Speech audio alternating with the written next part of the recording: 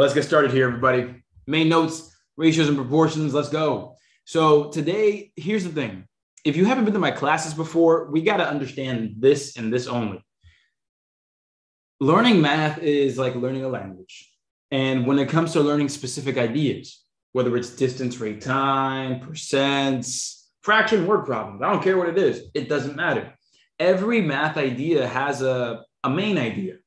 And so we need to make sure that we understand the main idea of every topic. So, yes or no, have you heard me say this before? When it comes to proportions, we need to make sure that we compare the same things in the same way. Who's heard me say that before? All right. So if you're new, check out the chat box. This is how we learn here. We learn in a in an intuitive way, in a way that doesn't, you know, have you kind of restricted to memorizing things, but actually understand what you're looking at. Because it's not about getting one problem right, it's about knowing you can get the next one right. So we're going to basically talk about this in English so we can know what we're looking for and point things out and pick it apart. So here we go. Compare the same things in the same way. If there's anything that you will write down ever, there it is right there. And also shout out to Coach Sheena and our two interns, or one of our interns, Emma, who completely redesigned our uh, slides here. So this is all their work. So proportions, what are they? Well, right here, go ahead, take these notes down. But first, before you write them down, please listen to what I'm saying. Proportions pretty much is this two fractions that are the same. That's it. It's just two fractions that are the same. You could literally say like that. That's a proportion. Two fractions that are equal to each other. That is literally it. That is literally it. But if you're thinking about this in a more, uh, I would say, technical way, a way that is going to make more sense as you continue practicing, you're going to want to know it this way. You need to know that proportions are the same parts of the same wholes. So basically, remember this fractions are parts of wholes. Everybody, yes or no? Fractions are parts of wholes. Fractions are parts of wholes, right? Kind of like pizza, right? I always talked about pizza in the past. And um, I can definitely do that example when we do the adding and subtracting fractions uh, lesson in a couple of weeks. But yeah, for sure, fractions are parts out of whole. So think of it like this, everybody. Let me just zoom on in over here. Yes or no? One over two is the same thing as saying half or 50%, right? Right? Cool. Yeah, sounds good. Not saying anything crazy, right? One out of two, that's 50%, that's half. Now, everybody, question is two half of four? Is two half of four? Right. Two is half of four. So that's what I mean when I say comparing the same things in the same way. Look at that. One is half of two. The top is half of the bottom. Same thing over here. Two is half of four. Two is half of four. One is half of two.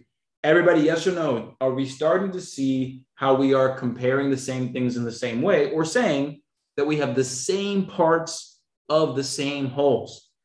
The top is half of the bottom. The top is half of the bottom. It's the same comparison the same way. I want to make sure we start kind of recognizing this in a slightly uh, in a slightly intuitive way. Again, in just plain old English before we get into that nitty gritty stuff. But let's check it out here. Here's an example. This example here, there are six boys for every 10 girls in class. There are, if there are 35 girls in class, then there are 21 boys. So let's go ahead and kind of just show this example here and just kind of show you what's going on. So everybody, when it comes to proportions, do me a favor. Please go ahead and repeat this in the chat box. Compare the same things in the same way. You're going to thank me in a second. Compare the same things in the same way. Please go ahead, take a quick 10 seconds, type that into the chat box. Justin, appreciate it. Thank you, Alex, EC, Amina, Krista, Isaac. Uh, there we go. Mario, Key, Krishan. Now it's flooding in. Latifa, Carla, Kathleen, Jasmine, and I give up. All right, cool. Oh, David, gotcha. Appreciate it, guys. Appreciate it. You're going to thank me in a moment. Let's watch this sentence right over here. There are six boys for every 10 girls in class. Watch this. I'll just use blue for boys and uh, green for girls. Six boys for every 10 girls in class. And I can't even tell the difference, so I'll just use a circle here. Or I'll use regular, uh, regular pen. Six boys for every 10 girls, right there. So here's what we're gonna do, everybody. Six boys over 10 girls equals, and then let me go over here. If there are 35 girls in class, then there are 21 boys. Everybody, watch this. If I were to write the 35 girls up here, because again, girls I'll circle in green, and then boys I'll circle in blue. So notice this. If I were to put 35 girls up top, and then the 21 boys in the bottom, everybody, yes or no, are we comparing the same things in the same way? Are we comparing the same things in the same way? Mm, go ahead, give your answer. Be honest about it. It's all good. Be honest about it. We're here to learn. We're here to learn. Give it your best go. Okay, cool. So thanks for being honest. So everybody, let's go ahead and break it down again. What did we say? We said compare the same things in the same way. So let's be technical here for a second. Everybody, First question Are we comparing the same things? We have boys and girls on this side. We have boys and girls on the other side as well. Right over here. We've got boys and girls on this side, boys and girls on that side. Are we comparing the same things? We are comparing the same things. Yes, we are comparing the same things, but we are not comparing them the same way. Think of it like this we have boys being compared to girls up top to the bottom. But here, boys goes up to girls right there. We are not comparing them in the same way. We are comparing the same things, but it's not in the same way. So, this is your first lesson with proportions. This is your first lesson with proportions right here. You have to make sure that your setup compares the same things in the same way. So, it's right here. Make sure that your setup, again, I'm not repeating myself for the sake of repeating myself. This is really the biggest important note of uh, proportions because once you have this idea down, you will never ever feel that anxiety with proportions once you have enough practice under your belt with this idea. So trust the process here. Let's write this down. Make sure that your setup compares the same things in the same way compares the same things right there in the same ways. That's it. That is really it. And let me actually go ahead in the same way. That's really the most important thing that you could write down today. So now we're going to go ahead and understand this a little more here. We're going to go and understand this a little better here the way that we should compare this, the way that we should compare this is by having the green or the representation for girls be on the bottom and the representation for boys top. That's what it should be. That's it. That is it right there. Okay. Because that way we can now say that we are comparing the same things in the same way. So if anybody here is asking, why is it so important that we compare the same things in the same way? The reason is this when you solve, if everything is in the correct place, the thing about math is this you have an equation right here. Everybody, yes or no? An equation means that this side equals this side. Yes or no? An equation means that this equals that. So there you go. That's the that's the only reason you need. If you don't compare the same things in the same way, then it's not an equation. It's not going to be correctly set up. And guess what happens, everybody? When you solve an equation, the right way that was set up the wrong way. What happens? What happens when you solve an equation the right way that was set up the wrong way? What always happens? What always happens? If it's set up the wrong way, you're going to get the wrong answer. Exactly. Thank you, Justin. Thank you, Muhammad. That's right. If you, again, it doesn't matter how correctly you solve it. If you didn't set it up right, you're doomed. That's it. So that's why this is really important, guys. That's why this is, again, I can't move on without us really understanding this. So we went ahead and set this up here. Now what we're going to do is we're going to look at some ways to solve proportions. So I want to ask you an honest question. Everybody, um, who here, give me yes or no, who here knows about the cross multiplication and division method? Yes or no? Who here knows about cross multiplying and dividing? Let's see. All right, the majority of us are saying yeah. I want to say like every four and five people here are saying yes, which is pretty accurate, pretty good. Okay, cool. Now let's go ahead and move over here. Who knows about the up, down, or vertical simplifying method, where you compare the tops to the bottoms and the bottoms to the tops? Who knows about that method? It's it's a nice little mental math method as well, but it also works very well when you have bigger numbers and you need to kind of simplify things for yourself. Hey, be honest. Be honest. It's okay to say no. Exactly. It's okay to say no. Be honest. All right, cool. So if you do know about the up down, you probably know about the left right, or maybe not. But if you don't know about the up down, you definitely don't know about the left right. So one more question there, just an honest one. Yes or no to the left right.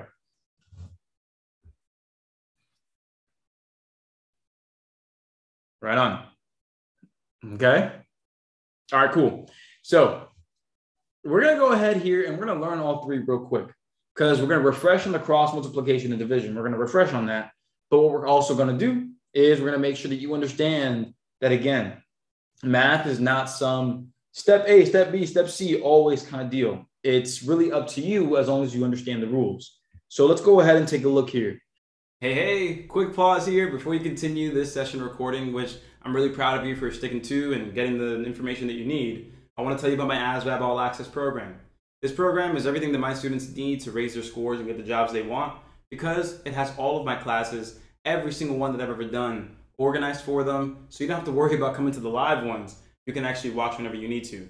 And on top of that, you can text me whenever you need help and get access to thousands of extra practice problems for the math, the English sections, general science, plus practice tests and study guides.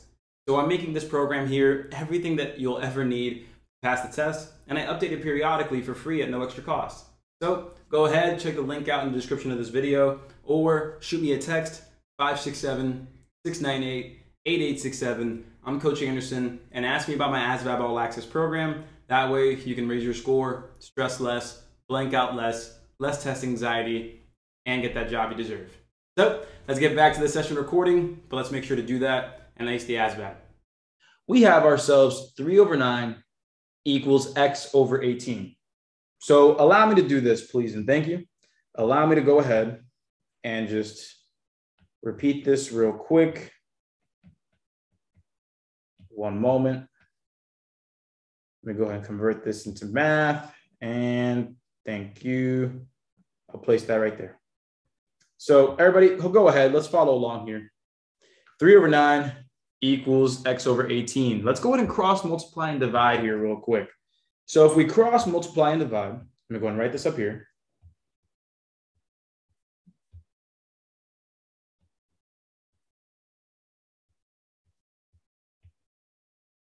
Let's go over this method real quick. So cross multiply and divide. Here we go. If we go ahead and take 9 multiplied by x, everybody, what is 9 multiplied by x going to give us? Help me out here. 9 multiplied by x will give you 9 times x, 9x. And then over here, we have 3 multiplied by 18, everybody. Who knows how to do that at the top of their head?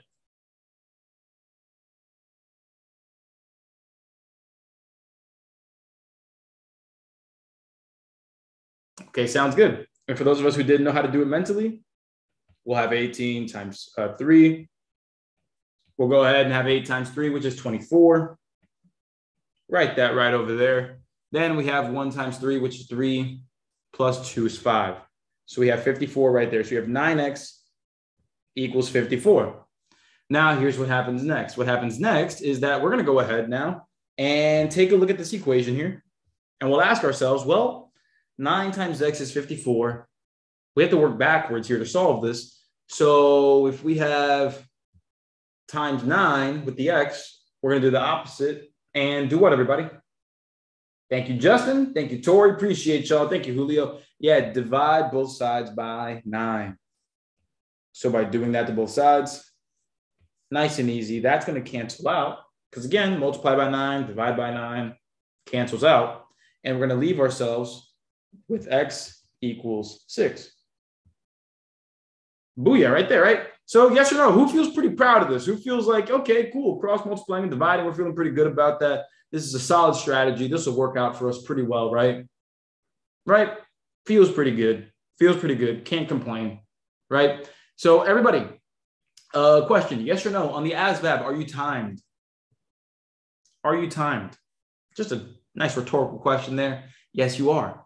So, everybody, what's going to happen when you have some crazy, funky numbers like instead of 3, 9, X, and 18, you got something like, hmm, let's go ahead and say 27 and uh, let's go ahead and say 121 equals something to along the lines of 76 over X. Are you going to enjoy doing that kind of math? No, you're not going to enjoy it. So this is why this is important. This is why it's important to understand how to do things more than one way because it's going to help you generate ideas and generate confidence when you're working. So allow me to go ahead and take this here. Um, and before we do, let me go ahead and actually copy it because I'm going to paste it over here and show you the third way in a couple of moments. But watch this, everybody. Do me a favor. Go ahead and type out the main idea for proportions. What was the main idea for proportions that I told you to write down earlier? Type it out one more time in the chat box. No, I'm not being annoying. I'm telling you, this main idea is your basically your proportion Bible, if you want to go ahead and call it that. Okay. Compare the same things in the same way. Yep, that is it. I'll go ahead and wait for about 40 people to do it since we have 140 people here. I'll go ahead and wait for about 40. Compare the same things in the same way. Go ahead. Type that out. Appreciate y'all so much because I'm telling you, those of you that are being conscious here and typing this out, you're going to get so much more out of this, man. I'm excited for y'all. All right, still waiting on about 12 more there. Keep it going. Appreciate y'all. Compare the same things in the same way. Good, good, good. Just a few more, waiting about six of y'all. Trust me, I'll wait. I can wait. I am good. I'm gonna my job is to make sure that you come out of this on top, making sure that you're confident about this. And I'm not gonna move on when it comes to a moment where we shouldn't be skipping. So I got y'all. Appreciate y'all. There's 40. Appreciate it. Appreciate it. So compare the same things in the same way. Everybody, if I compare the three to the X, does that not mean that we should compare the nine to the 18? Is that comparing in the same way? From the left side to the right side, the left side to the right side. Is that comparing in the same way? Yeah, that is exactly it. That is exactly it. You are comparing the same things in the same way if you're going in the same direction. Same start point, same end point. Same start point, same end point. We're good. But here's my curious question here. Everybody, what do you do to nine to get to 18? What do you multiply or divide by? Because that's how ratios work multiplication or division. How do you get from 9 to 18? Give me specifics, not just a two. Give me an operation. Give me an operation. Don't get lazy. Multiply by two, right? Multiply by two. So, everybody, watch this. Compare the same things in the same way. Nine times two equals 18. That's a fact. If you compare the same things in the same way, three times two equals six. And you're done. And that's it. Yes or no? Did that make sense?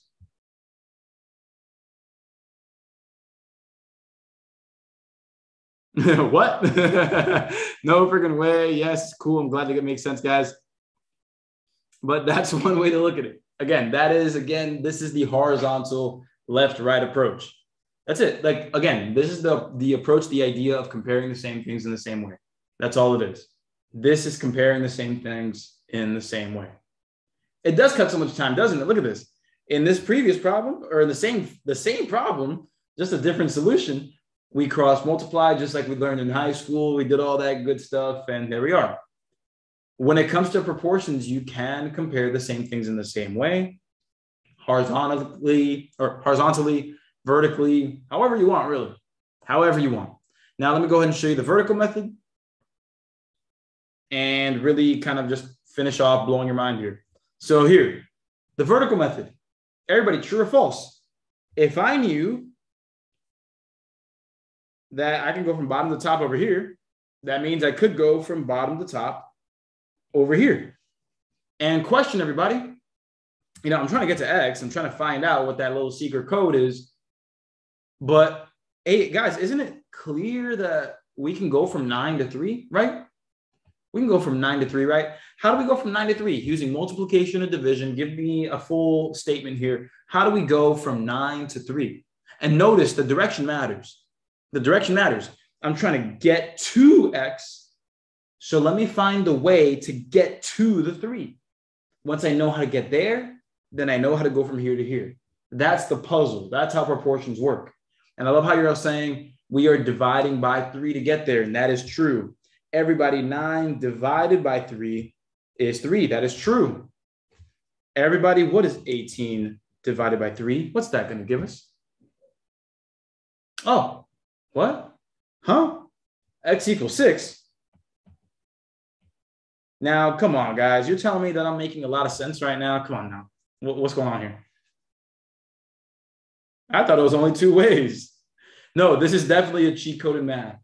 It's only a cheat code because, again, it takes that fundamental understanding, the main idea. Compare the same things in the same way. If you follow that rule for proportions, then you can go from starting to solve proportions with cross multiplication and division, which again, you still will use this every now and then. I'm not saying that this method sucks. I'm not saying that. I'm just saying that if you if you notice conveniences, you should take advantage of horizontal or vertical uh, simplification. So basically, up down or side to side method. That's pretty much all you want to call it. Up down or side to side doesn't really matter, but that's the idea, everybody. So on a scale of one to ten, how much sense did that make for you? And if you need more practice to be able to understand it at all, then go ahead and say you need more practice. It's all good. But on a scale of one to ten, how much sense did that make? Yeah, we'll definitely get more examples. We'll definitely get more examples. You know, we're starting here, and now we're going to learn how to set up proportions with these word problems. But then after that, we're going to get into a lot more practice and drill sets too to really make this happen. Cool. Sounds good. Yeah, for sure. Yeah, practice is absolutely necessary. So don't worry, I got you. There's plenty of that. So let's go ahead and take a look at some word problems here, everybody. I'm going to give you five more seconds here to take a screenshot. Four, three, two. Cool. Hopefully, I made your screenshot special. So, next, here we go guided warm up part to part. So, that was the last way, Krista. Um, it was the horizontal left to right and the vertical up down. I showed all three. Um, so here we go. Guided warm up here, my party people. So this is an example of a part to part proportion. So let's go ahead and take a look here. And again, don't worry about the word problem strategy for a moment. Don't worry about it for a moment. But Jill bought eight shirts for $520. How much would she need to pay for 10 shirts at the same rate? So, everybody, yes or no? Look, um, let's be honest here. This is a class on proportions. You're sitting here, you know this is a proportion problem, right? You know it's a proportion problem. But let me ask you for uh, an honest question. Let me ask you an honest question. Can you prove to me that this is a proportion problem? Yes or no? Who here can prove to me that this is a proportion problem? Like, can you point out the evidence in the word problem? Can you say this, this, and that tells you that it's a proportion word problem? Who here would like to grab the mic there and try that out? Go ahead, Jalen. Jalen, you're up first. Muhammad's back up. Go ahead. Oh, what's up? So, so this is eight shirts for five hundred twenty dollars, right? So, so there's already eight shirts, and then there's already ten shirts. So you're just already comparing that. So it'd be eight on one side and then ten on the other side and then 520 on the bottom, and then the same rate, the X will be on the bottom right.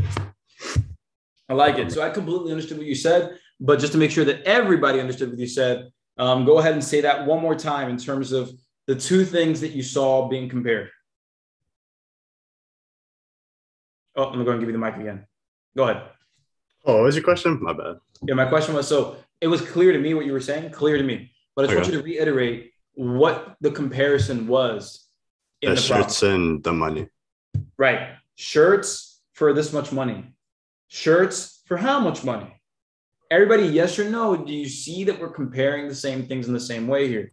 We're asking, hey, we got this many shirts for this much money. We want this many shirts, but we don't know how much money. But we're, we're going to find it. That's part of the problem. But do you see the comparison? Shirts to money, shirts to money. This is how you can prove. This is how you can prove any problem that is a proportion problem as a proportion problem. When you're comparing things in one sentence, and you're comparing things in another sentence, the same things, but like a different scenario. That's how you know you have a proportion. That's how you know. So with that said, let's go ahead and, and really just work to set this up. So here's how we're going to set this up. First, everybody, what are we looking for? Are we looking for money, shirts? What are we looking for? Yeah, we're looking for money right over here, gang. It says right here, how much would she need to pay? So we here are looking for money. So again, I'm going to write this here blank dollars for how many shirts, everybody? We're looking for the amount of money for how many shirts? Not eight, for 10 shirts. Look at the sentence here. How much would she need to pay for 10 shirts at the same rate? So, right there. Next, let's go ahead and take down the other piece of information here to really make sure that we're setting things up the right way for ourselves. So, here it says Jill bought eight shirts for $520. So, everybody, this is good, right? Eight shirts for $520. Everybody, we've wrote down our notes. Do we have enough information to set up our proportion? Yes or no? We do. We do. Um, and let's just go ahead and give it a, a letter here. If we're going to make a proportion, right, we can't just leave it a blank. So, everybody, uh, we're looking for blank dollars for 10 shirts. Give me a variable that I can put in there. X, yeah, I mean, X works, always works. You know, M for money. If you want to give it something that makes sense according to the problem, that's always great. Um, it does add on a little bit of interest to the problem. That way you can actually remember what you're solving for. So I'll go ahead and just write use M for money. If you're going to use X, totally fine. My preference is that you use letters that make sense in terms of what you're talking about. That way you remember a little easier as you go along. But that's neither here nor there. Let's go ahead and make sure that this happens here. So I'm going to go ahead and compare the same things in the same way. I see that I wrote it as M to 10 and 8 to 520. So I'm going to do that right over here. M to 10 and 8 to 520. Everybody, that's a good setup, right? Yes or no?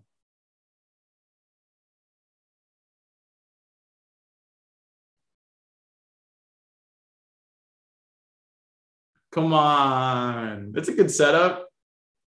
Come on. That's a good setup. I compared the same things in the same way. What are you guys talking about? I did from here to there, there to there. I compared the same thing. What are you talking about? so, Muhammad, you want to raise your hand and explain what just happened here? What just happened here? So, Muhammad, go ahead. Talk to us about what my mistake was setting this up. So we need to compare same thing in the same way. Absolutely. You cannot compare money to shirt. You gotta compare money to money and shirt to shirt. Exactly. Here we have money, and then here we have shirts. Yes, I'm going to take my time and do that. But then what do we have over here? This over here. Over there, you have shirt to money. Exactly. Here we have shirts to money. So, everybody, do you notice how I compared what I wrote in the same way? I didn't actually compare the, the actual problem, the, you know, the, the ideas of the problem in the same way. Has anybody ever made that mistake before? They wrote their information down in that way and they set up their proportion wrong. And they were like, wow. We've all made that mistake. If you haven't, well, maybe that you're a little prone to forgetting that you are not perfect, but it's okay. It's okay. So, what we're going to do here is we're going to go ahead and we're going to take care of this the right way here. So, we have to make sure that, you know, when you're taking your notes down for the problem, it's a good idea that if you know it's a proportion problem, make sure that you write it down comparing in the same way. That way, you don't get confused in that way. So, all I would do, it's a simple fix.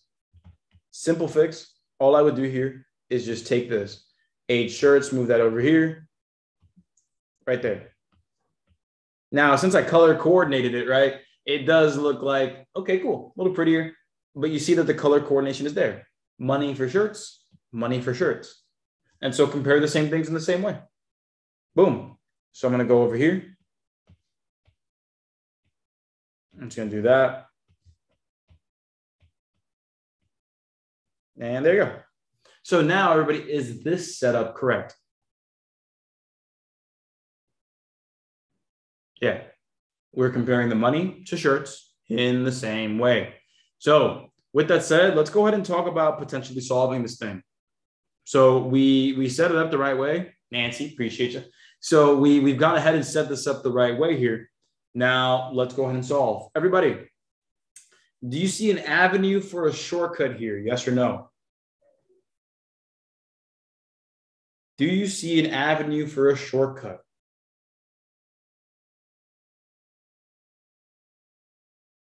You know, it, it's a yes or no. You know, if you don't see it right away, it's okay. It takes a little bit of practice here because I'm going to show you the, the next level to that left, right, or up, down method. I'm going to show you the next level to that. But let's go ahead and say that we're looking at this problem on a practice test, which these types of numbers are often huge Tens, eights, numbers and ends and zeros. That's typically if you're looking at arithmetic reasoning on the passing side, you're typically going to get dealt these kinds of numbers, which is pretty nice. So watch this. Let's solve this the regular way.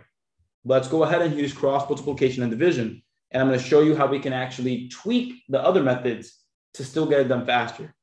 So let's go ahead and do this here, everybody. Cross multiply, everybody. What is m times 8 going to be? Hit me. What is m times 8 going to be? 8m. Sounds great.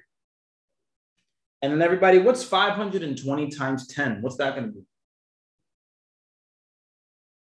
Add a zero, exactly. When we're multiplying by 10, just add a zero. That's going to be 5,200. Now, watch this, everybody. Watch this right here. Next up, last step is just going to be to divide 8 on both sides, correct? Last step, just divide by 8 on both sides. Sounds great. Now look at the predicament that we got ourselves into. This isn't anything bad, right? We're still going to solve this, but I just want to show you how much time something like this might spend. So right here, the eights cancel out. And now we have m equals whatever the heck that is. And now we're stuck going ahead and setting up long division. And we're sitting here like, oh, Pappy, it's going to take forever. So eight goes into five, zero times. 8 goes into 52. How many times? How many times does 8 go into 52? That's going to be, is it five? Is it six? Right? You got to actually think about that kind of stuff. Well, 8 goes into 52 six times. Subtract 48. All right, sounds good. 52 minus 48, that's going to go ahead and be 4. And now when we're taking a look here, we got to drop that zero. Everybody, 8 goes into 40 how many times? right? That's going to be five times. Sounds good. And then we keep doing our work here. We subtract that 40, and now we got zero. Everybody, how many times does uh, eight go into zero? How many times is that? That's going to be zero. So our answer here is going to be 650. 650 what? 650 what? M was for money. So that's going to be $650. And there we have it. So is anybody here mad at that method? Like, you know, are we are we okay or are we appreciative that we were at least able to get a solution here? Are we good on that? Hey, right on, getting that right. Good stuff. I don't like it. It took too long. It took too long. I'm getting anxious with how long it took. Easy money. Need help with long division. Definitely write that down. If you need help with long division, write that down. this is going to be up to you. I mean, I have resources in my program to help you out with that. But if you're not using my program, make sure you're self sufficient. Make sure you write down what you know you need to work on and find out how you can work on it. Um, but again, you know, if you want to learn more about my program, I will talk about that more at the end of class. I got y'all. But there it is, everybody. There it is. That is one way to do it. Allow me to invite you to see how you can do it just a little faster. Watch this. So I'm going to do the same setup. The m over 10 equals the 520 over 8. I'm going to do the same exact setup. Everybody, let's go ahead and, and really just start understanding like how much easier this can be when we know how math works. So, question, my first question. We have a 520 divided by 8. Everybody, could you simplify that fraction? Could you simplify that fraction? You could. You could. Everybody, 520 and 8, they're both even. So if two numbers are even, what do you know that they're both divisible by? What do you know that they're both divisible by? Like, you don't have to know that 520 is divisible by 4. It is. It is divisible by 8 as well. But you don't have to know that. You just have to know the basic rules here. A 2. They're both divisible by 2. So let's go ahead and do that. Watch this, everybody. Look how much easier this gets for you if you just do a little bit of simplifying. Everybody, 520 divided by 2. Let me use a different color here to be consistent. 520 divided by 2 is what, everybody? What is 520 divided by 2?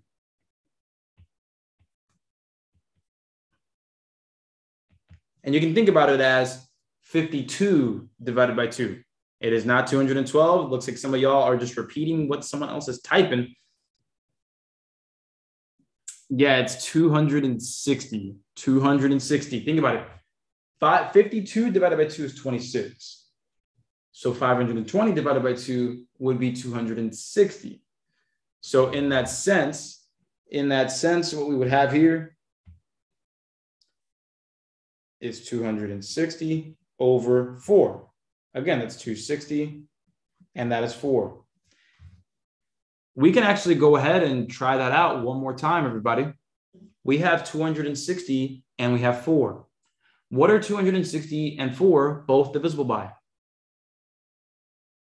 They're still both divisible by 2. Again, it's still divisible by 4. I know that. Some of us here may know that, but let's pretend that we're like live in the moment and we're just trying to simplify a little bit. Watch this. I'm, this is not going to take forever. I'm just showing you the steps and kind of taking my time showing you the steps. But when you do it in real time, this can be really, really fast. Divide by two again. Because often this is going to happen in your head. Everybody, what's 260 divided by two? What's that going to give us? That's 130. That's a little more understandable, right? For sure. For sure. And then lastly, watch this, everybody. I'm going to go ahead and just have a little moment. Because everybody, look at this.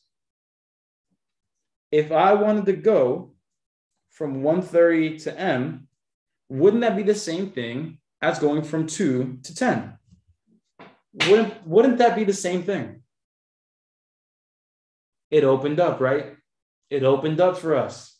And if you ask me how you know that it would open up, I just noticed right here.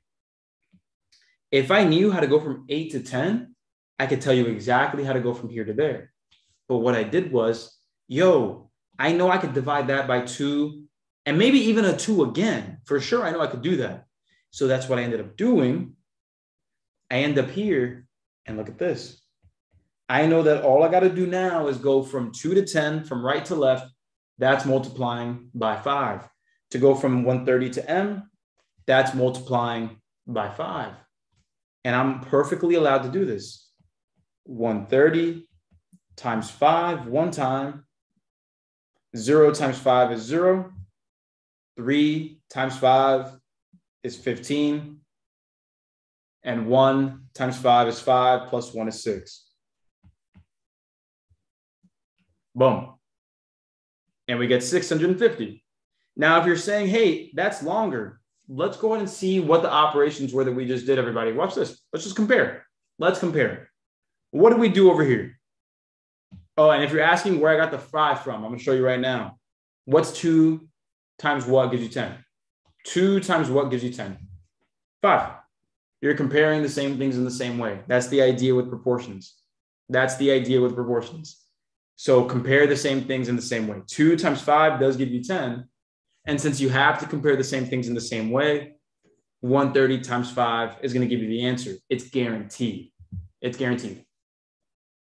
Cool. I'm glad you see it there. Appreciate that. So let me just remind you again. What did we do? Okay, we divided by two. We divided by two. Then we multiplied by five. Everybody, is multiplying or is dividing by two, then dividing by two, then multiplying by five. Is that hard or easy, relatively speaking? Dividing by a two, then dividing by a two, then dividing by five, or, or multiplying by five. Is that easy, medium, or hard for you doing those operations? Okay, for the most of us, I see a lot, big majority of us saying, yeah, it's relatively easier, relatively easier. Okay, let's go ahead and just compare that to what we saw over here. Okay. So we went ahead at first. We multiplied 520 by 10 and the 8n. So technically two operations.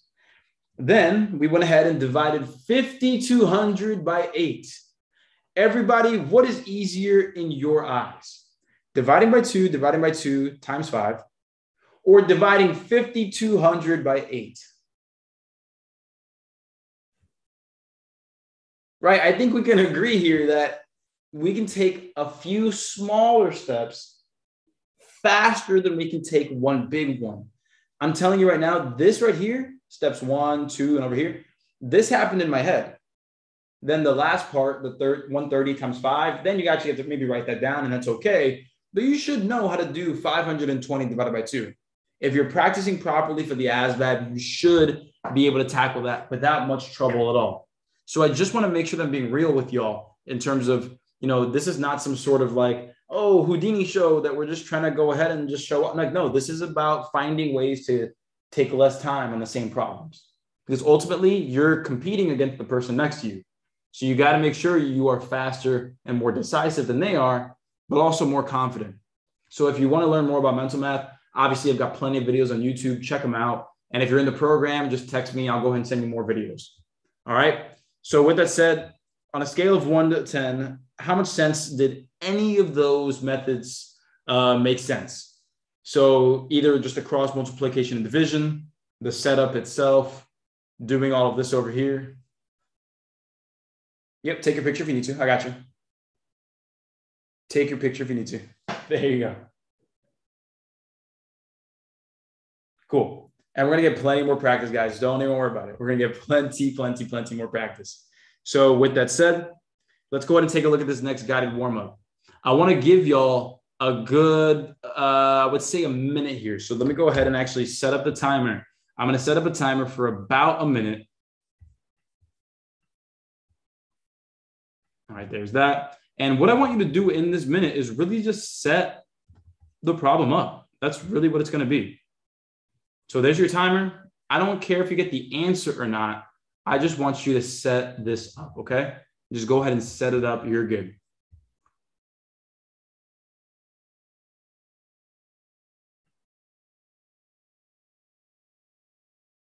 Hey, hey, hope you're enjoying the session recording so far. So as always, if you're looking for extra ASVAB help and support from a coach to kind of guide you through the process, study planning, and all the materials you need, just shoot me a text real quick. Again, I'm Coach Anderson, 567 698 8867. Go ahead and ask me about my All Access program or just ask me about the program in general. I'll be more than happy to tell you about it so you know that you can stress less and raise your score with ease. Again, I'm Coach Anderson. That's Ace the ASVAB. Text me now, and then let's keep going. All right, let's go ahead um, and type in your setup. I don't care about your answer right now. Type in your setup because you're going to see that we're going to have a few different setups that could still be correct. There's about six different setups you can have here because as long as you're comparing the same things in the same way, you'll still have it correct. So go ahead and type those in.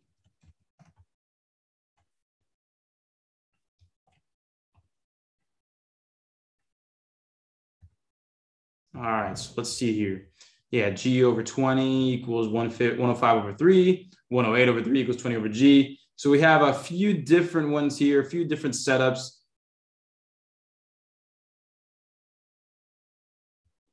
All right, right on, right on. All right, so let's check this out here. Perfect. So let's go. Setting this up. So first things first, let's go ahead and understand the question. So now let's start getting into the strategy here. So here we see how many graham crackers will he need to build 20 gingerbread houses? So let's go ahead and type this here. How many graham crackers will he need to build 20 gingerbread houses? And that should be an S there, houses, and then a question mark, but there we have it. So here we want blank graham crackers.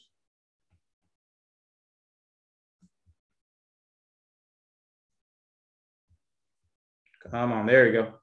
Crackers, four, and then we'll write 20 gingerbread houses. So let me just go ahead and move this over here. 20 houses.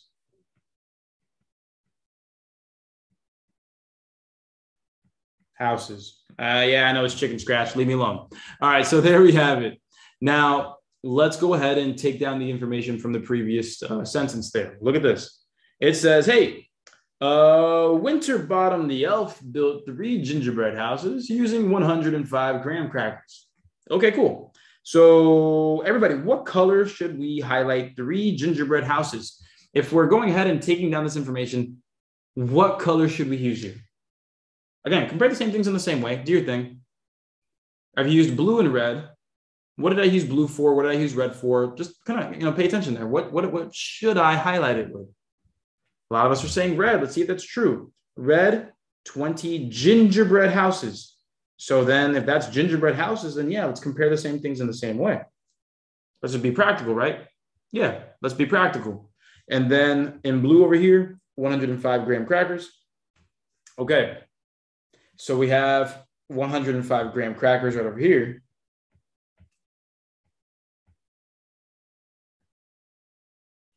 For the three gingerbread houses. Gingerbread houses. All right. So what we're going to do now, everybody, can we confirm that this is a proportion? Are we comparing the same things in the same way here? Can we confirm that this is a proportion? Oh, yeah, for sure. This is absolutely a proportion. We see that we absolutely are comparing the same things in the same way. This works. We're good. We're good. So now I'm going to set things up. Everybody, quick, give me a letter for graham crackers. If you use G, think about gingerbread. So you might want to use G. We might want to use C for crackers. Exactly.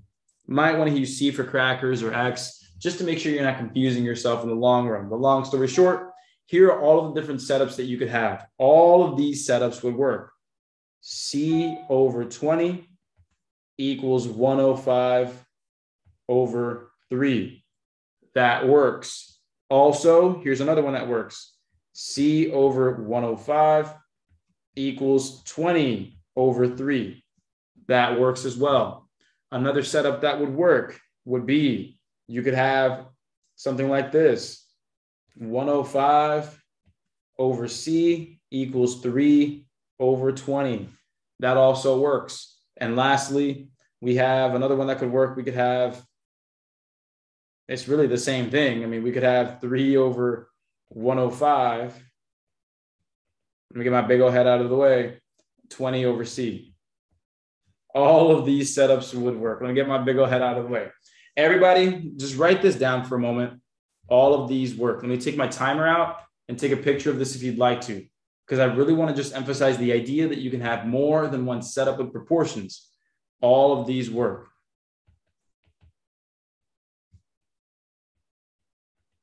All of these work. So please go ahead and take a picture of these.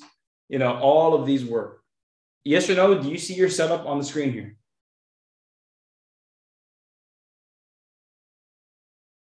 Cool. All of these work for sure. All of these work. Because look, you could say, hey, C, that's the graham crackers. And then over here, 20 is the 20 gingerbread houses. And if you look over here, 105 crackers, three gingerbread houses. being compared in the same way. We also have C graham crackers compared to 20 gingerbread houses over there. Left to right, we have the same deal 105 graham crackers to three gingerbread houses compared the same way. And you can do the same things over here. Again, you can compare them anyway. Doesn't matter which one. No, they all work out just the same. You solve it, you got it. It's nice and easy. You solve it and you got it. So with that said, everybody, all we're going to do here, we can cross multiply and divide. We can do our cross, you know, our simplifications, but I'm going to skip that for this problem specifically so we can get to these other word problems. The answer here, just going to do the math. Basically, what we're going to have here is 3 to 105. That's a comparison of, I think that's going to be 35. So that's going to be 1 to 35. So that means that 1 to 20 means times 20. 35 times 20 is 700. So C is the, or B is the answer. Right there, it's going to be 700 graham crackers. So that was mental math. Um, again, it doesn't take a lot of effort to get to where I am. It does take consistency, but it doesn't take a lot. It's not very hard. It just takes consistency and effort. Like not real, like it's not challenging to the mind. You just have to practice. You just got to practice. Just got to practice. So there it is. So boom. Um, I'll show you the program, Natalia. so I'll talk about the program more about in, in, the in the in the future here. So everybody, this is this is where this is where you're gonna want to really pay attention because if you're trying to shoot for not just a passing score, if you want like that 45 and above, this is a kind of problem, a setup that you're gonna want to know. So I'm gonna warn you already. Guided warm up this is a part two total right here, right there. I am not hiding it. I am telling you what this problem is. So get ready for something different, okay? So, first question is this read the question first. Everybody, what are we looking for in this problem? Take a look here. What are we looking for in this problem?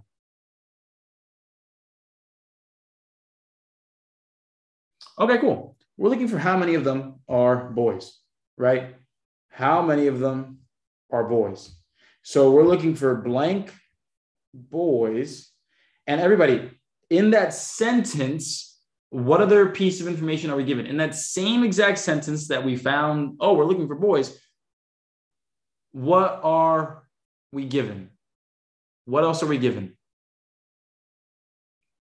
If there are blank, what? Like, what did they say? If there are 3,500 total elves, right? Exactly.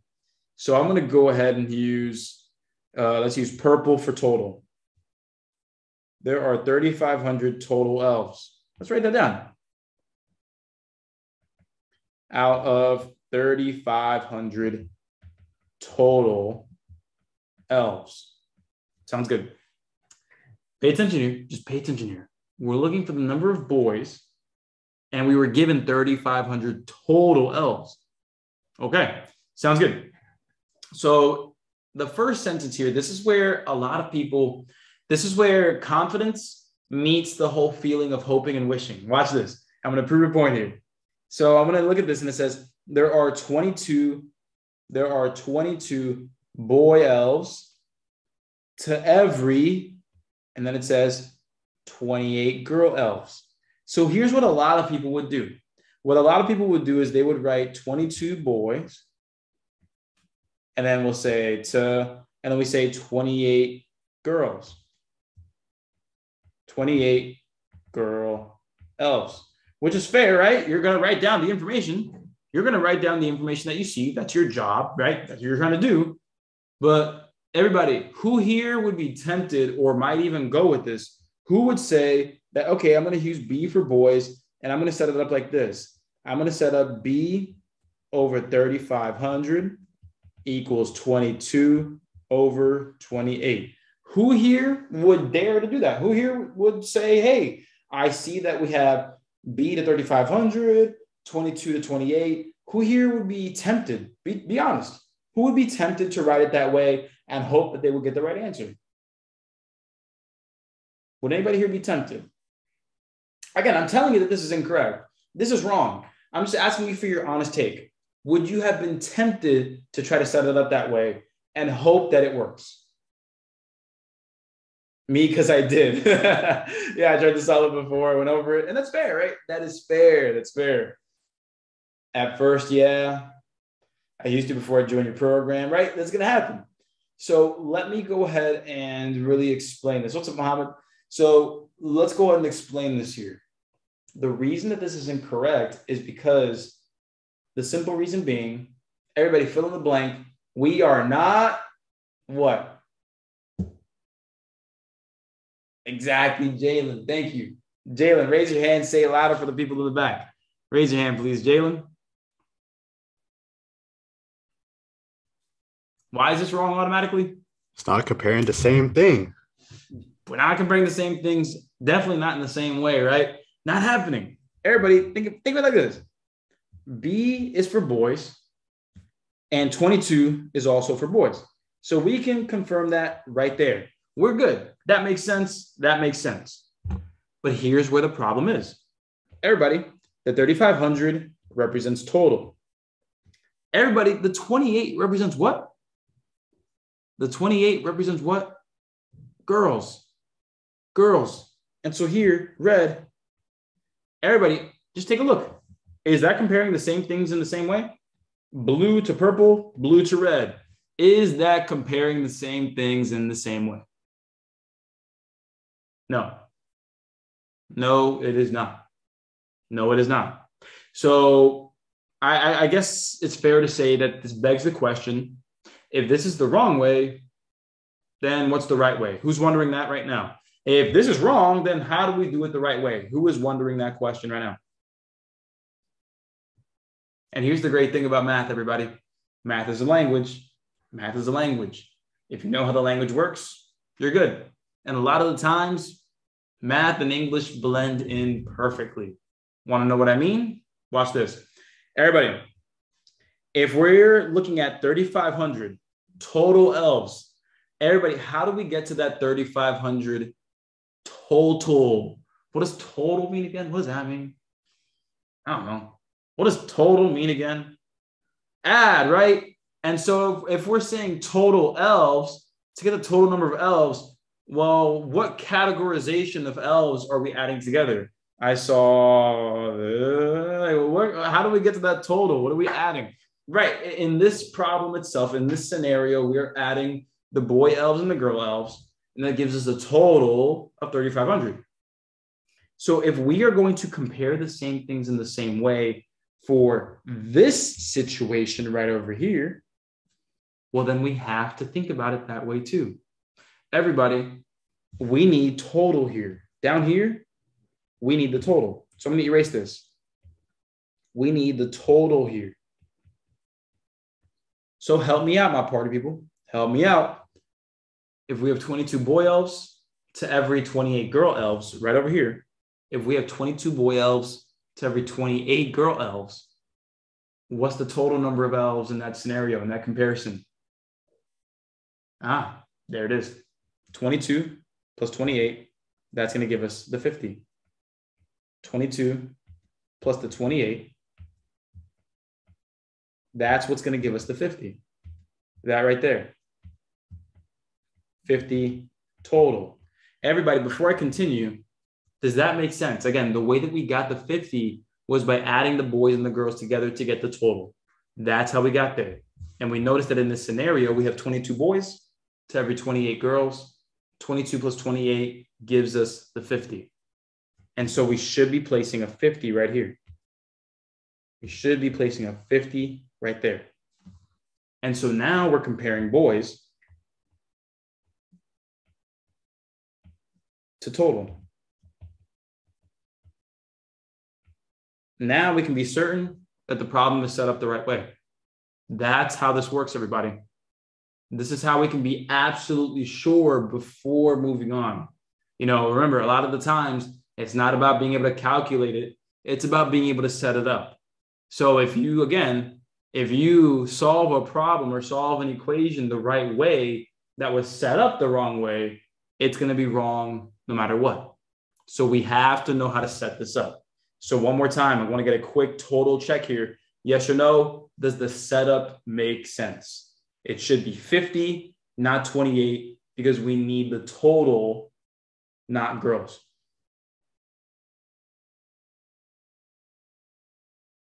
All right, so I'll take the question here. So before I solve this, we are going to solve this in a second, but Isaac, I want to take your question there, boss. Go ahead. What's your question, man? Uh, so I don't know. I guess the way I set it up, it's like so confusing. Like uh, it's it, this goes back to like the previous problem. Yeah. So how did you set it up? Give it to me. All right. So honestly, I don't know what the heck I did. So the previous problem that we did, I did x over three and then 105 over 20, and that's what I did.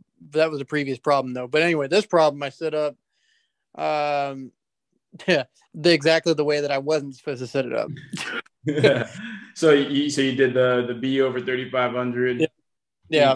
But how did you how did you how did you come to like your conclusion on how to set it up? That's the other part where I get stuck. Oh yeah, so that's the idea. So you got to compare the same things in the same way. Like that, that is, I'm gonna echo that a million times over. But let me just support that a little more with you here. I got you. Let me support right. that a little more. So when you compare the same things in the same way, and here's a tip for proportion problems. When it comes to proportion problems, you will always base your setup off of the question. You base your setup off of the question. Here's what I mean by that. Let me let this person in here. You're going to base your setup off of the question. So here's your question. If there are 3,500 total elves, how many of them are boys? So what I'm doing here, Isaac, is I said, okay, the question is giving me 3,500 total compared to boys. So that's what I'm going to base my setup off of right here. So my job now, Isaac, is to have boys to total on this side as well. Earlier, we had uh, 28. We had 22 to 28, but that was boys to girls. So that tells me that we have to adjust this right here to get total, not girls. So Isaac, does that make a little more sense there? Maybe that mic back, boss. Does that make a little more sense there in terms of why we made that decision? Yeah, now now it's starting to make a little more sense. Can't say I'll remember it in the next 10 minutes, but hey, it's making sense. No worries. Yeah. So, you know, once you turn your mic off, kind of just talk to talk yourself through it again. Again, the reason that we couldn't have girls there was because it wouldn't have been compared the same way. It would have been boys to total, boys to girls. It needs to be boys total, boys total. And so that's why we had to use the total of this situation, not the girls of this situation. So kind of talk yourself through that and, and really make that, you know, uh, follow up with that for yourself for sure. All right, cool. Gotcha, man. What's going on? Dwight, welcome in, my man. How can we help? So where first would you understand and then where did you get stuck? Let's see if we can help you out here. Yeah, um, good evening, coach. How is everything? I'm doing well, man. Thanks. Yeah, um, the thing is it I messed up and I kinda like feel lost because I'm gonna put 22 over 35 and I put equal 28. That's what I equal 28. That's what I'm, that's what I did. Yeah, 22 over 3500 equal 28. That's what I did. Equals just 28? Like that? Yes, sir. Yes, sir. So that wouldn't that's, be a proportion in this sense. This would not be a proportion. I remember a proportion, you're comparing two fractions here. And so you're going to have to have something like this equals something like this. So basically like something like this. Just don't worry about the letters here. They're just placeholders, but you have to have two fractions here. You got to have two fractions. All right, one here and one there. The number, the, the letters are just for numbers, okay? It could be 5, 10, 25, doesn't matter. But this is how proportions should be set up. And so you want to make sure that you are comparing the same things in the same way, like we're doing here. You see how we're doing boys to total, boys to total? Yeah. That's how we have to compare it. Every problem, every time, every time. All right. Thank you, sir. All right. Yeah, we'll go and try the next one here. So go ahead and pay close attention to how I set it up. That's what I want you to pay very, very close attention to. So um, moving forward here, we're going to take a question from Jalen, then Jordan, then Muhammad, and then we are moving forward here.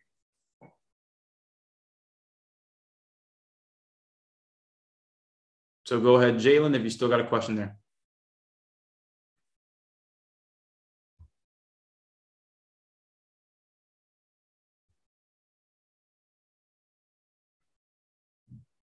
Going once, going twice. All right, go ahead, Jose. What's going on, man? What's your question? Oh no, you answered it already, but thank you. No, because I was gonna ask you like, but we already got to it. Hey, hey, if you'd like to watch all the classes, get all my practice problems, and text me whenever you need help with anything at all, then check out my ASVAB All Access program. It's everything you need to succeed. It's how my students raise their scores and get the jobs they want all day, every day. Oh, yeah, and by the way, I got a master's degree in teaching, and I've been teaching for over 10 years. I put you first, I'm passionate about it. So check this out, and let's get to work. Let's ace the ASVAB. So here, practice time, three minutes per question here. We're gonna take three minutes here because I'm going to give you two minutes to try to set it up, and then the final minute, hopefully, to try to solve it. Now, um, I'm going to be very real with you. You got to make sure you know what you're solving for. So, really, when it comes to those part to part problems and part to totals, it doesn't matter if you see it at first, because if you set the proportion up and you know what you're comparing, it's going to be obvious if you have a total problem or a part to part problem. You just have to make sure you write down what you're comparing because if you don't, you're not going to be in a good position to really solve it.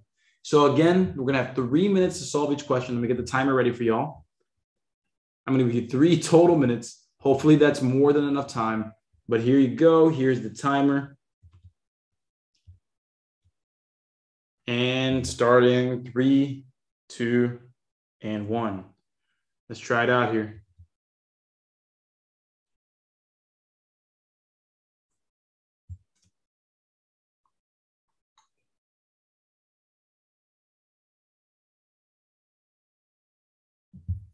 If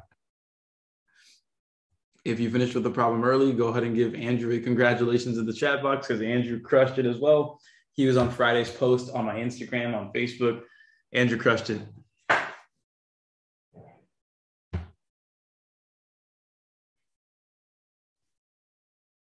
Yeah, man, you deserve it.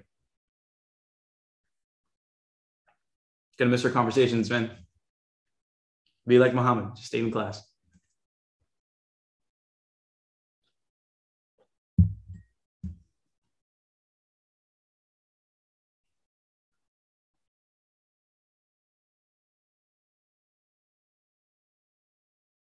So I'm going to start dropping some hints here. It's, it's a minute into the problem. So I'm assuming those who do know how to do this are a little more ahead. For those of us that are stuck, follow along with me. I got you. Remember, everybody, first step, let's read the question.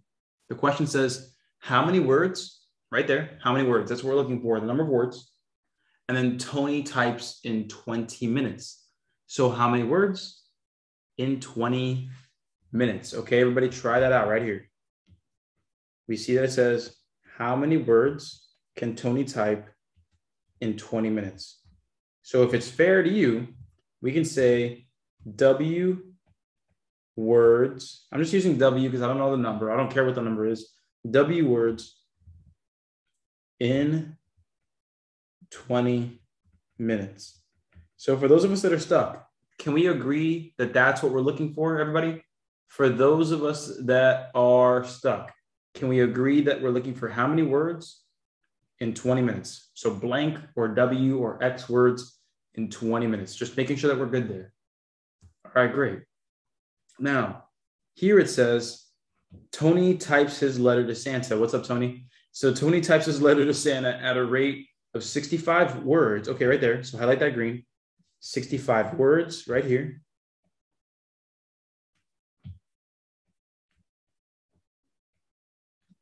And then in and then it says 65 words per minute. So everybody, what does that mean? How many minutes is that? How many minutes is that? If it says per minute, what does that mean? I, I feel like that's the confusing part, right? That's definitely the confusing part. But what is the word per minute? Same thing as per hour or per person. Think about it. If we think about going to the convenience store and it says, oh, it's the beginning of the pandemic, we are limiting two hand sanitizer bottles per person. How many people at a time can get two hand sanitizer bottles? Right, one person. When we use the word per whatever, per minute, per hour, per person, we're talking about just one of those things. Yes or no, everybody? Does that make sense? The phrase here, per minute, means per one minute. Again, the word minute is singular. It's not S plural minutes. No, it's just minute. And so that would be one minute. Again, I really want to make sure that we understand that uh, before we move forward here with this. So once we understand that, everybody, for those of us that were stuck, was that what you were stuck on? What per minute meant? Just want to yeah, be honest. Be honest. Be completely honest. That's all I'm looking for. Great, sweet, sounds good. So someone asked in the chat box, and this is a pretty interesting question, and I want to give you guys the opportunity to answer this really quick. So Jalen and Jose, if you could put your hands down for just one moment, I'm going to have you put them back up in a second. But if y'all could put your hands down for a moment, the question was, how come we're not using 60 seconds? Why are we using one minute instead of 60 seconds? So go ahead and raise your hand if you'd like to answer that question. Oh, Jalen gives his hand up like, I got this. so Jose, I want to give you the, I want, because Jose hasn't answered a question yet. I want to give Jose the chance first. Jalen, Mohammed, don't kill me. Go ahead. Go ahead, Jose first. Hey, Try coach. Well, the, the reason this one I knew right away isn't this like a distance times and rate? It can be considered that. It can absolutely be considered that. 'Cause And that's how I did it. way- No, no, no, David. It can absolutely be considered a distance rate time problem, but that you're not answering the question. The question was, why are we using one minute instead of 60 seconds? One minute instead of 60 seconds? Yeah. Because you're supposed to uh, divide by one because you're supposed to consider it by one. Or like, I mean, not divide, but you're supposed to multiply it by one and then divide. Jose, By- I what's mean, the main idea the- of proportions? What is the main idea of proportions? It's the same way, the same thing. Nope. Come on, say it, say it, say it right. Say it fully. Look at your notes. Compare the same things the same way. Exactly. Compare the same things in the same way. So allow me to do this. Let me take away the one minute. Everybody, it's true that one minute is 60 seconds, right? Yeah. One one minute is 60 seconds, right? So technically, could I write 60 seconds right there in place of one minute? I could, but would it make the setup correct? No, because we're not comparing the same things in the same way. Jose, what we would have here is that look, you had W words in 20 minutes, 65 words in 60 seconds, not comparing the same thing in the same way. And so, because of that, you have to go ahead, hit that back key, and bring that one minute back. You got to compare words to minutes, words to minutes, not words to minutes and words to seconds. Not the same comparison. So, I want to make sure everybody understands that. Do we understand that, everybody? We are using minutes to uh, words and minutes, words and minutes. Sweet. Want to make sure we cover that. So now let's go ahead and cover the setup here. We can set this up a few different ways. Here's just one way to solve it. We can do W over 20 equals 65 over 1. The great thing about this problem here, everybody, is that once you go ahead and cross multiply, you don't have to divide. You're actually done. You're actually just done. Because right over here, everybody, what's 1 times W? What's another way to write 1 times W? Right? 1W. And what's another way to write 1W? That's just W, exactly. That is just W. That is just W. And so over here, 20 times 65, once you figure out what that is, you're good. You're good. So here's one way you can go ahead and multiply by two digits without really multiplying by two digits. I can do 65 times 20. And what I'm going to do is I'm going to save that zero right there. I'm just going to save it. Watch this, everybody. Five times two, I'm just going to go ahead and just ignore it. Five times two is going to be 10. Six times two is going to be 12, plus one is going to go ahead and be 13. And then I will just go ahead and take my zero, move it on down. My answer is 1300. That's a little bit of mental math that you could apply here. Not very necessary, not even, you will save a little bit of time, maybe one or two seconds. Um, but really, yeah, you could solve that nice and easy. But again, my, my most stressed thing about this really is the setup, everybody. It really is the setup. So, everybody, yes or no, does the setup make sense here? Yes, the answer is C 1300, but I really care more about the setup. We are comparing W words to 20 minutes right there, 65 to 1. And if you were thinking that, hey, did anybody here immediately just look at this and say, well, if you do 65 in one minute to get 20 minutes, you just multiply by 20? Did anybody think that right away and do that right away? Good. Good. If you did that and thought that right away, you're in a pretty good spot. You understand rates pretty well. This is technically a rate problem, but could also be seen as a proportion problem. Yeah, on this one specifically, yeah. Yeah, yeah, yeah. on this one specifically, because you're given the rate 65 words per minute. That is a solid rate. And so you were able to do that in that way.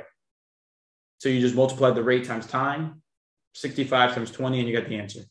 Yeah. Would 65 over 1 equals W over 20 work? Yeah, it's the same thing. 1 plus 1 equals 2.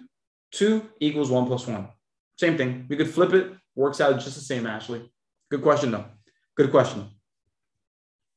Yeah, yeah, you're good. Yeah, you're good. You're absolutely good. The distance would be the 1300 words. Remember, David, the, the distance is whatever you're trying to achieve. That's what distance is in distance rate time. So you are achieving 1300 words. The rate at which you're achieving it is 65 words a minute, and the time it takes you is 20 minutes. Let me know if that makes sense, man. Yeah again, remember, distance is not just travel, like traveling distance. No, it's whatever you're trying to accomplish. All right. So let's take a look at what let's take a look at another one here. I'm going to switch it up on y'all. I'm going to give us one from the bottom here.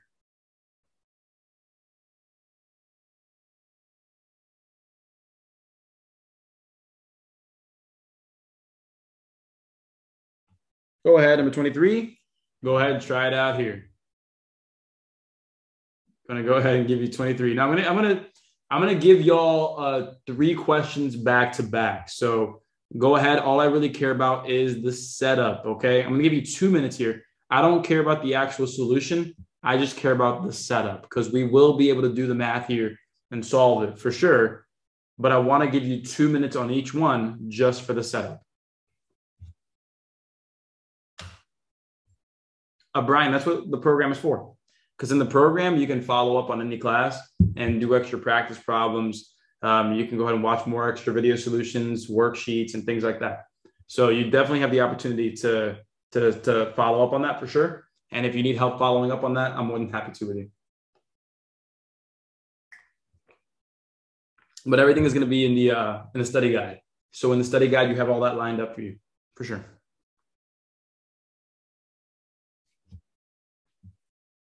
So remember, gang, if you are stuck, again, I don't want to lose your hope here. I want you guys to really focus in. So if we're taking a look here, go to the question at this rate, how many days? That's what you're looking for right there. How many days? Very clear. Will it take to sell 96 sleds? So use that to your advantage here, everybody. Use that to your advantage and see if you can come up with the right setup here. Try it out.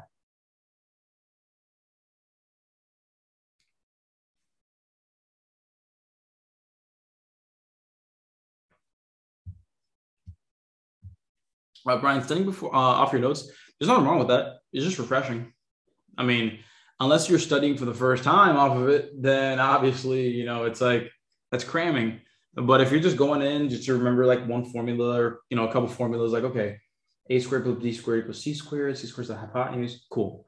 Like just refreshing, yeah, for sure. Take whose test?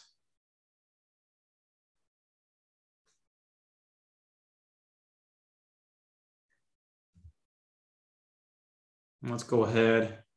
Let me show you all off because I love having over 140 people in class. Hey, hey, it's Coach Anderson. Really quick before we continue the video, I have to ask a favor.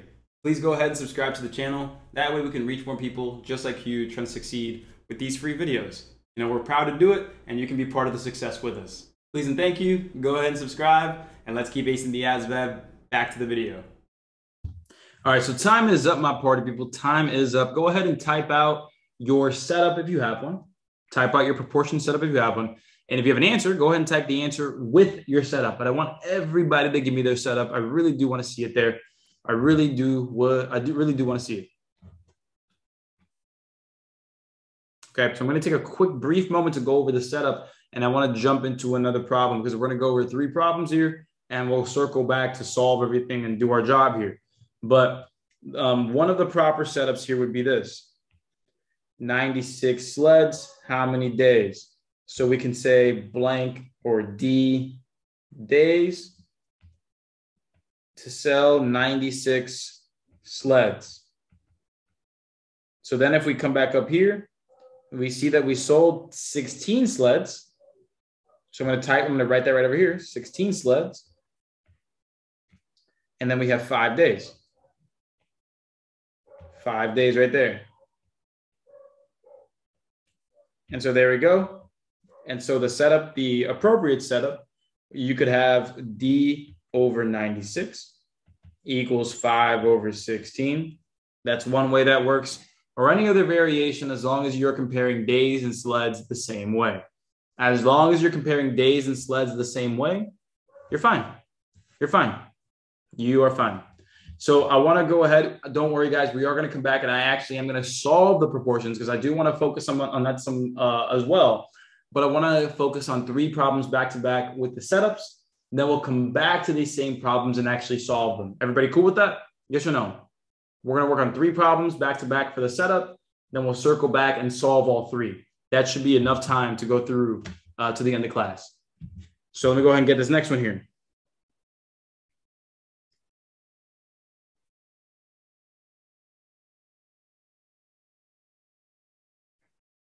Right here. So again, just pay attention to what you're looking for. Just go ahead do your job here the right way. And there's the timer. All right, be right back. I'm gonna get some water. But go ahead and work on it. Exactly, Latifa. Right, an- right setup equals right answer. Oh, Felix, we're gonna come back and solve it and show you the answer. Don't worry. We'll be right back.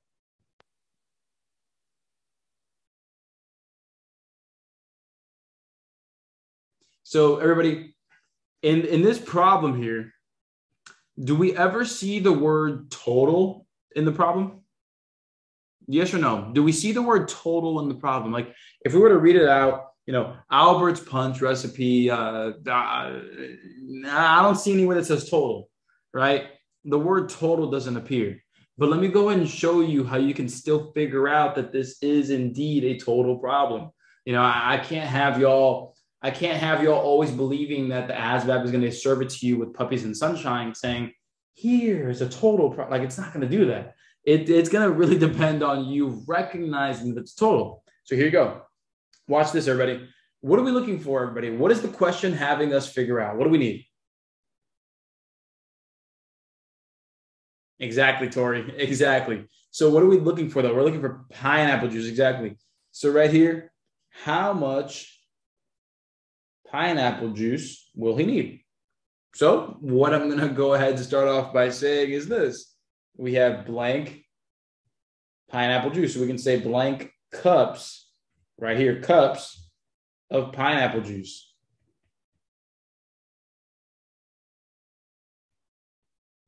All right, sounds good.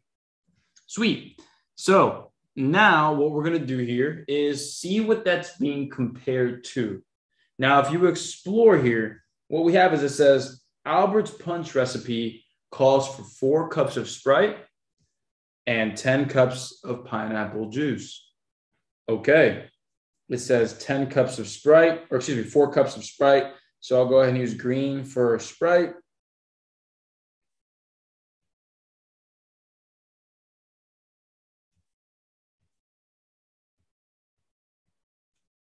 And then it says to 10 cups of pineapple juice.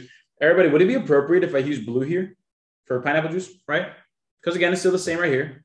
Blue for pineapple juice, blue for pineapple juice. We're still good. We're still good. So we'll say 10 cups of pineapple juice, PJ, pineapple juice. So with that said, mm, there's one piece of information we kind of forgot here. He needs 105 cups of punch for his holiday party. How much pineapple juice will he need? Everybody, is it fair to say that to make the 105 cups of punch, you need a certain amount of pineapple juice? Is that fair to say? this unknown number of cups of pineapple juice is connected to the 105 cups of punch. Yes or no? Is that fair to say? Cool. I'm glad that that's fair to say because they're saying, hey, we want to make 105 cups of punch. How much pineapple juice do we need for that? That's the comparison. The cups of pineapple juice to the cups of punch. But here's the problem. If I were to try to use green here, would that work?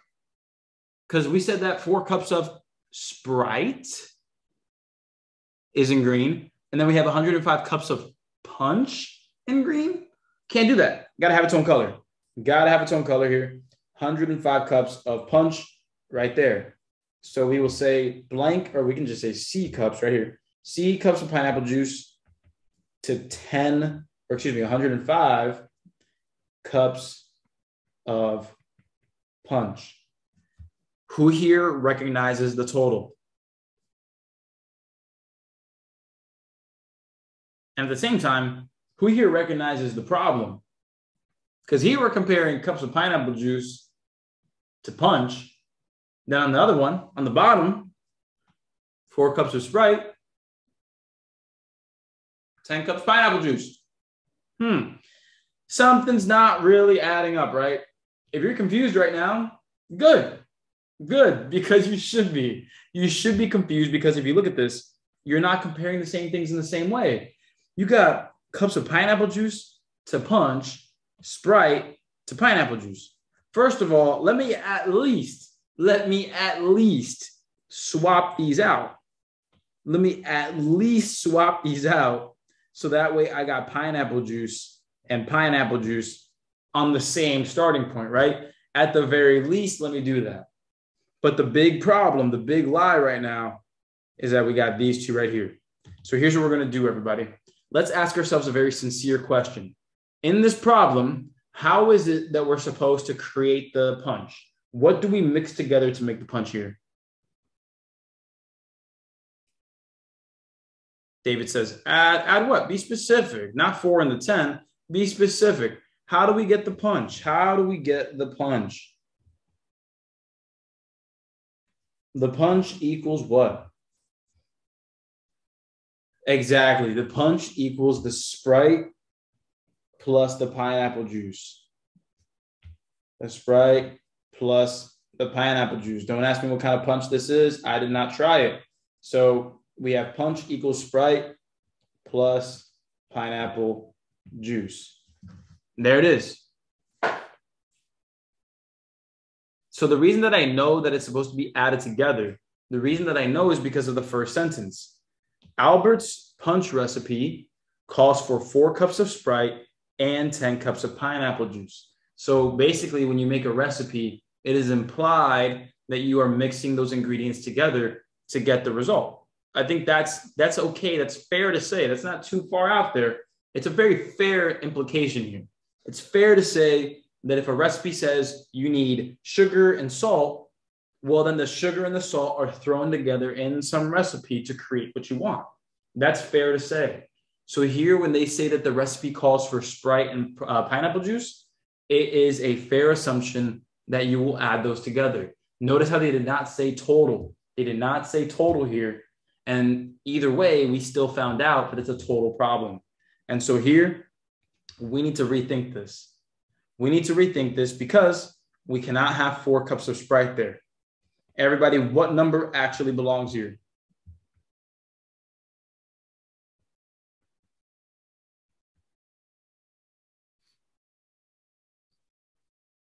It should be 14. And it's okay about the internet. Don't worry. But that's going to be 14. That's going to be 14. Because again, if you have, let me just take this again here. Let me just allow me to replace this. This is going to make a little more sense for those of us that are still confused. I got you. So right here, if we have punch plus Sprite equals pineapple juice, we got four cups of Sprite and 10 cups of pineapple juice. Together, that's going to make 14. Together, that makes 14, and that's how we get that number. And so our proper setup, one of the proper setups, again, Tony, we get 14 by adding the four cups of Sprite and the 10 cups of pineapple juice. So one of the proper setups would be C over 105 equals uh, 10 over 14. And that's how we would get the answer. That's how we would get it. That's how we would get it. And so, um, you know, then you can solve that and we'll come right back to this. But first, we're going to do another problem here.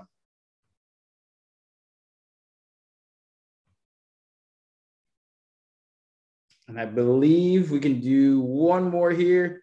And then uh, we'll see. I will give you all a minute and a half for this one. And then we'll kind of show us a little quick little shortcut on it. So here we go. Timer's up. Let's go. Left, I want to go ahead and show you here that there's a faster way to do this. So just kind of check this out here.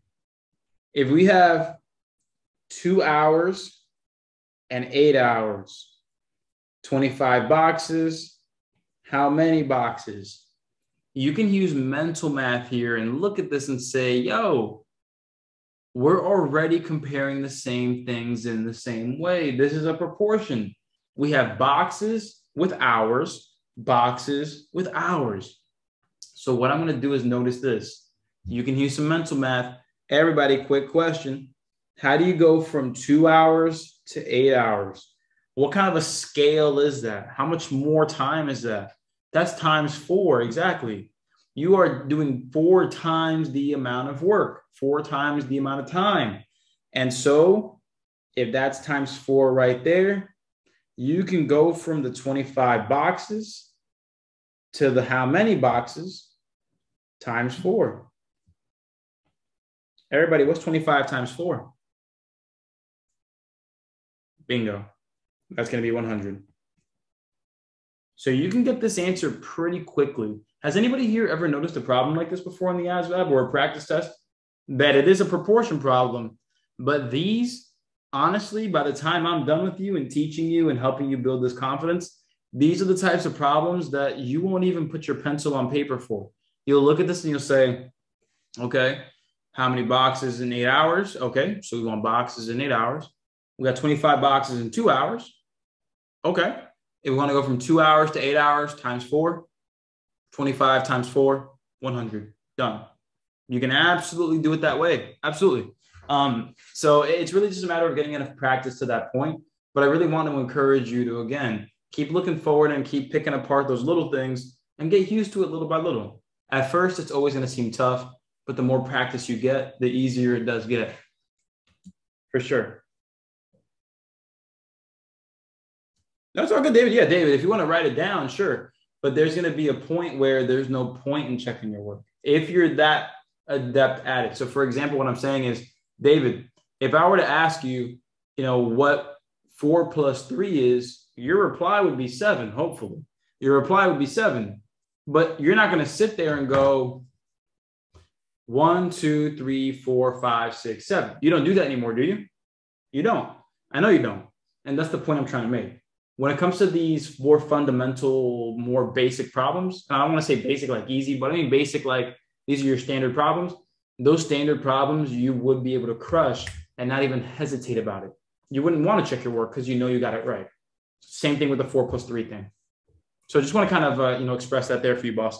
So if you wanted to set this up as a proportion, one way it would look would be boxes over eight equals 25 over two you solve that nice and easy, and you'll still get 100.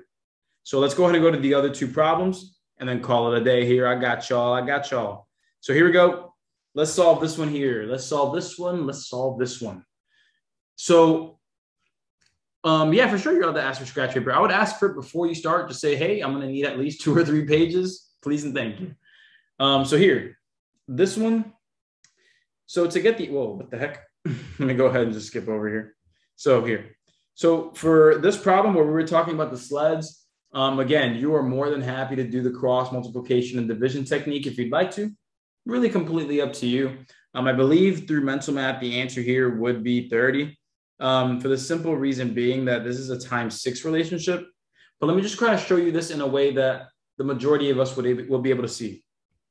So again, one way is to do it like this, and you'll get 16D equals that would be 480. Then you would divide both sides by 16. and you get D equals 30. That's the main way that this would work out. That is the main way that this would work out. Now, the other way that this could work out for you would be is if you notice some comparisons. So here's what I mean. One comparison that you can try is a left to right simplification. Everybody, we all know that with fractions, you can simplify up down, but you can also simplify left to right. So here's what I mean, everybody. If I can divide this denominator by eight, I should have to divide this denominator by eight. What you do to one side, you must do to the other. So everybody, riddle me this. What is 16 divided by 8 going to be? Help me out. What is 16 divided by 8 going to be? It's going to be 2. 16 divided by 2 is going to be, or 16 divided by 8 is going to be 2. Now help me out over here. Everybody, what's 96 divided by 8? That one should be very clear if you know your multiplication tables. 96 divided by 8 is 12. 96 divided by 8 is 12. 8 times 10 is 80. 8 times 11 is 88. 8 times 12 is 96. That's going to be 12. Now, once I'm here, this is where things get really, really easy. Because once you make that one step in that simplification, notice how you can go ahead and do 12, 2 to 12, that's times 6. 5 to the answer will be times 6. And you can get it like that as well if you would have liked to. So everybody, which way do you prefer for this one here? Method one or method two? Which one was your preference for this one? Because you notice both of those were the same amount of work. Look at this, same amount of work. One was cross multiplication, then division, two steps. Uh, this one here, a simplification, then multiplication. Divide by eight times six, or 96 times five, then 480 divided by 16. Like, I hope you can see that with these techniques, you can deal in a much faster way because you're dealing with simpler numbers. That's the mental math way. It's about basically adding on one or two more steps, but all of the steps are easy as opposed to one or two massive steps that you don't want to do. That's the purpose. So now, lastly, over here, I believe we have one more. Yeah. So the the uh, the punch and the pineapple and the sprite problem. So what we can do here is we can go ahead and solve this cross multiplication and division if you would have wanted to. If you would have wanted to. So that's 14C equals 1050. And then from there, you would go ahead and, you know, divide both sides by 14. And so I'm looking at that, and then you got to go ahead and do your work. And then you have to go ahead and take 14 and take it into 105 or 1050. So if you look at that, that's not very favorable. That's a lot of work. That is a lot of work. So I'm going to let anybody who wants to torture themselves with that torture themselves. If you're a masochist, great, sounds good. But let me go ahead and show you the other way here. This way is going to be just again, still a little simpler here. What you can do is you can notice that, hey, 10 and 14. Everybody, 10 and 14 are both divisible by what? 10 and 14 are both divisible by 2. So right there and right there. And so from there, that turns into C over 105 equals 5 over 7. And then from here, you're looking at this and you're saying, well, how do I go from 7 to 105? And this is where you need to know a little bit of mental math because 105, everybody, is 70 plus 35. Everybody, true or false? 105 is 70 plus 35. It's true. 105 is 70 plus 35. 70 divided by 7, that's 10. 35 divided by 7 is 5. So I can tell you right now, this is a times 15 relationship. This is times 15. And again, this only works if you know your mental math. This is a harder version. So if you don't get this right now, don't worry, don't worry, don't worry. You can get here. You can absolutely get here. And so from there, five to C, the answer will be times 15. Some mental math, five times 10 is 50. Five times five is 25. 50 plus 25 is 75. C equals 75. That's much faster if you know your mental math than trying to divide 1050 by 14, which will take a lot longer no matter what.